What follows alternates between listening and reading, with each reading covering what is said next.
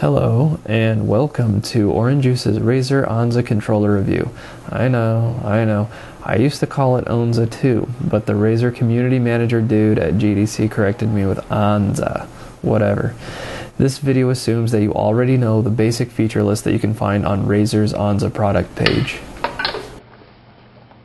Ah, the thumbsticks what many would consider to be the Onza's main selling point.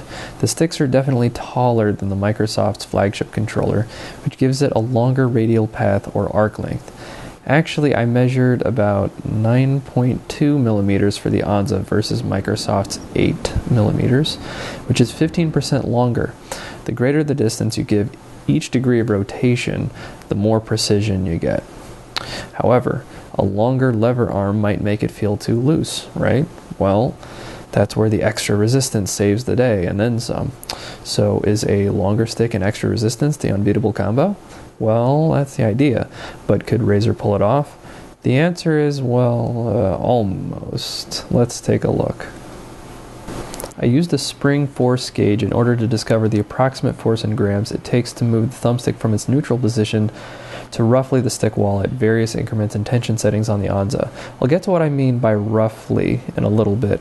I must take the time now to give Razer props for going above and beyond with this dynamic resistance control idea, though. At its lowest setting, it takes roughly 50 grams. At 10 notches up, it takes 60 grams. And that's actually the same as the Microsoft controller. At 15, 75 grams. 20 notches, 100 grams. Finally, at 25 notches, a mere 5 more clicks, it takes a whopping 175 grams. As you can see, the change in force increases with each click. This behavior can be loosely represented by this graph. As you can see, we have a bit of an exponential curve rather than a linear graph that you might expect. You know, this isn't really that big of a deal. However, if the x-axis instead of describing tension clicks described stick travel, then we might have a problem. And that's exactly what I want to talk about next. At the lowest setting, the stick moves smoothly at approximately one speed with a consistent 50 grams of force. This is very similar to what we see with the Microsoft controller, except the Microsoft controller requires maybe a bit more force and it's not quite as smooth. That's all well and good, but look what happens when we bump up the resistance on the Onza. This is at 15 clicks. Notice how the closer you get to the stick wall, the more force it takes to keep going at the same speed. In fact, it becomes exceedingly difficult comparatively to get the stick all the way to the wall, especially moving it left on the left stick for some reason. Even at lower settings, it takes hundreds of grams to make that final push. It's kind of like pushing in a sponge or a mattress, where it's easy to push in a little bit, but it gets progressively more difficult the more compressed it gets. This simile is the same as stretching out a rubber band or a spring. I became well aware of this phenomenon back when I used to do internal modification of Microsoft controllers to increase resistance in the sticks. The solution was to use a bigger sheet of silicone, or spring, or what have you, and don't let the stick wall get anywhere near the stretch limit of the medium, which is represented at the end of this exponential graph. Instead, you'd be utilizing the more linear part, again by being more conservative with the medium. If you didn't understand any of this graph and stretch limit stuff, don't worry, that's not really paramount to this review. The important thing to remember, though, is that unfortunately with the Onza, we're stuck with the sponge effect. Take it or leave it. How bad is it in practice, though?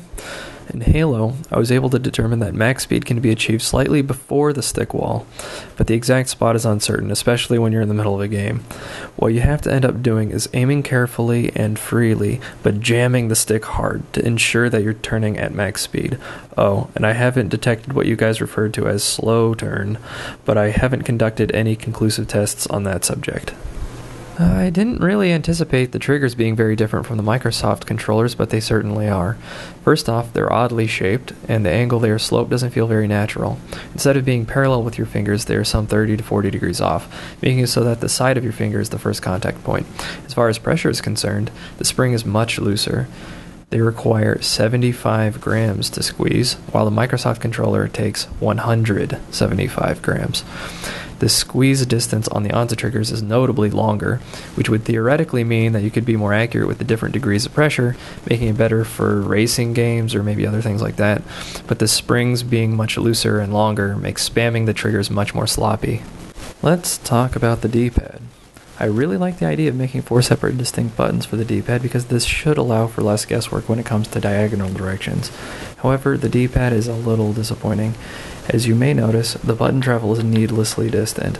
In order to go from pressing only right to pressing only down and back, you have to very physically rock your thumb. In general, it'll require you to hold your thumb at a higher angle to have more control and make fewer mistakes. For all those competitive fighting gamers who need to make quick and precise directional combinations, you may want to look somewhere else. I did get the Mr. Perfect Mega Man 10 achievement, which demands you beat the game without ever getting hit, using this D-pad, so it really isn't completely useless. Oh, and to settle the silly debate, Shock Guard rescues do not screw up your perfect run.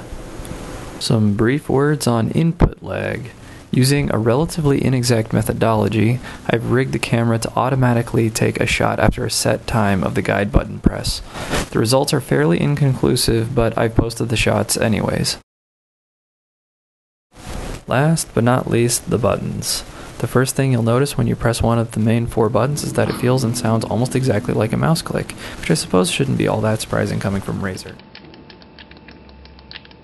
I definitely like the crisp, clean click over the traditional spongy membrane feel you'd find on almost any other Xbox controller. The amount of force required to actuate one of these buttons is 70 grams on this Onza. On the Microsoft controller, I measured 121 grams. However, the shoulder buttons and the start and back buttons are a slightly different story. They're clacky and clanky and very loud, some being more so than others. This makes them feel like they may succumb to stickiness and inconsistencies over time. I am very sorry to report that my left bumper button has already, within the week of owning it, contracted what I like to call multi click, which means that a single press may register as a double tap, a triple tap, or even 10 at once. In Mega Man 10, that means that every so often I'll undesirably rapidly cycle through all my weapon powers, or in Halo Reach, I'll rapidly activate and deactivate my equipment loadout when I simply intend to just hold the button. The problem usually comes in waves. Once again, coming from Razer, this is not all that surprising. This kind of thing is infamous in the mouse market and something to watch out for. This brings us to the end of this review. There are a couple of things I didn't address. First, the remappable buttons. They work as expected, nothing much more to say, aside from the fact that for some strange reason, and it's mentioned on the Razer site, the left analog stick button can only be mapped to the left shoulder button, and the right stick button to the right shoulder. The other thing I didn't mention is the overall feel of the controller. It's not drastically dissimilar to the Microsoft one, and everyone has different preferences, so I'm not about to get into a Duke versus Microcon debate. Oh, and yes, the buttons are glowy and the skin is rubbery, whatever, that's neat. Anyways, despite all of the Onza's unfortunate shortcomings, its advantages are almost too hard to pass up. And so I see myself finally prying my claws off of Microsoft's baby as my main controller. Just looking at the feature list and the reasonable price, we can tell that Razer acknowledges what competitive gamers want. and they almost pulled it off. But that's good enough for now. Hopefully, I've helped you come closer to determining whether or not to buy this bad boy. Thank you for watching.